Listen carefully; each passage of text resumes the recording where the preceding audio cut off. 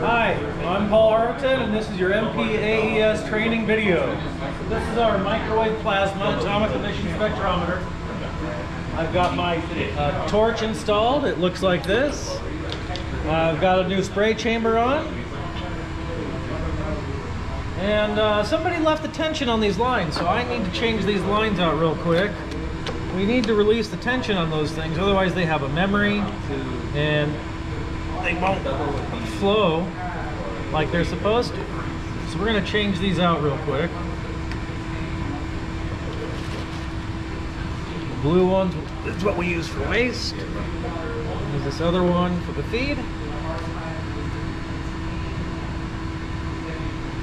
And we just connect one tubing into the other. It's real simple.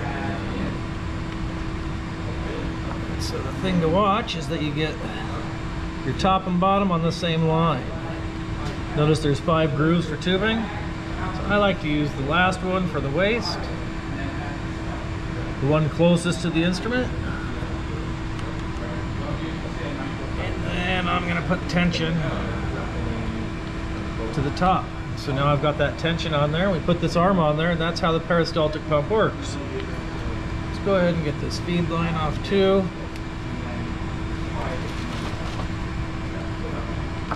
Got these other ones ready to go. These ones are flared, so it's real easy. So this was our feed tube that goes into our sample. So that would go to the top. The bottom, which is what connects here,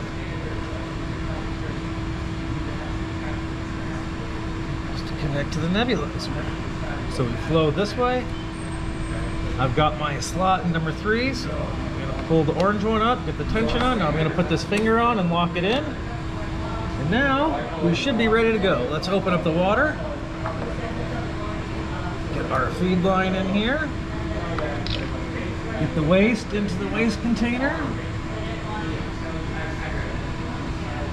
And now we come over to the software close this guy out and go new from.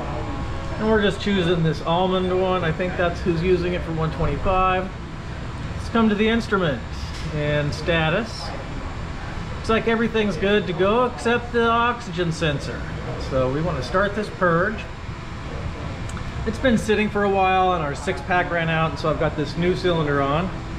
Let's open it up. It's about 2000 psi you want to open these things up pretty much all the way. And now we're going to start the pump. I'm going to pass pump fast for the draw. And the thing with these this clear tubing is you want to get a couple little air bubbles in so you can see it. The refractive index uh, change is what lets you see whether it's water or air. So I see I've got good flow. I've got some coming over to the waistline, and so we see these drips coming down. So now I've established a pretty good flow. I'm going to slow my pump down, and I'm going to wait for these drips to come all the way down to closer to the waste container. We need to do this so we have enough back pressure in here so that when we turn the gases on for the, for the plasma, it doesn't blow down. So we're coming under here, under plasma, and it's on. Now we can look in here.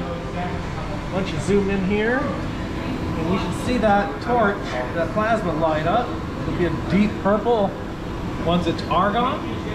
And then uh, it'll introduce the nitrogen, which will make it a little pinker. All right, there we go. We've got it. We can also see it down here in the ground glass joint uh, of the spray chamber. So looking at the spray chamber, if I shine a light on it, you can see we've got this nice mist in there. It's going around and around concentrically, and it's it's pretty homogeneous.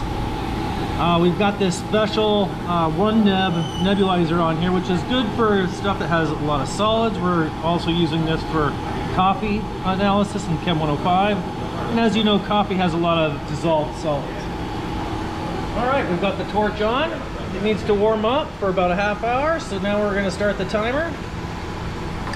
And once it gets to about 20 minutes, we're going to switch over from water to our 5% trace metal nitric acid.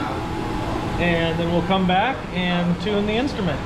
All right, so we'll see you here in a minute.